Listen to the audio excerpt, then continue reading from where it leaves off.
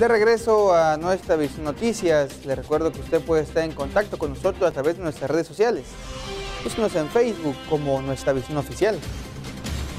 Pasando a la información nacional, la aprobación de la Ley de Seguridad Interior por parte de la Cámara de Diputados está rompiendo con el orden constitucional, por mucho que el discurso oficial pretenda decir que da certeza a la actuación de las Fuerzas Armadas en actividades de seguridad interior. Lo que dice Santiago Corcuera Covesub, académico del Departamento de Derecho de la Universidad Iberoamericana.